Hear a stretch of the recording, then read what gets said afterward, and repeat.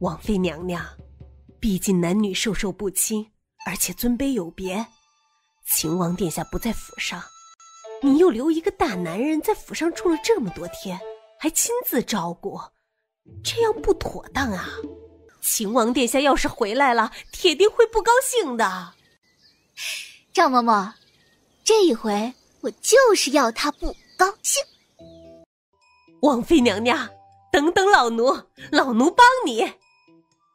哎，小东西，你干嘛呢？小东西将自己的爪子抓破，正滴血喂顾北月呢。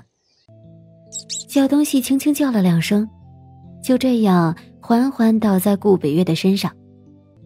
韩云溪连忙将小东西捞起来，只见小东西双眼紧闭，陷入了昏迷。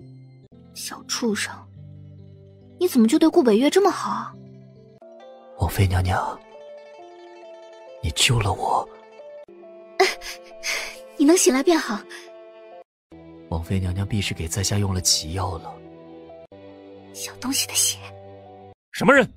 出来！呀，来人呀！有刺客！有刺客！王妃娘娘，快逃！别管我！废话那么多做甚？就见一道利剑破门，凌厉飙来，射向了顾北月。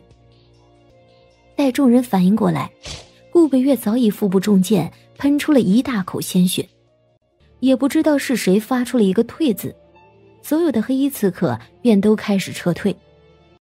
龙飞也动作优雅，缓缓的收起弓箭，他不允许天宁帝都里埋伏着这样一个来历不明、深藏不露的家伙，更不允许韩云溪的身旁有这么一个人的存在。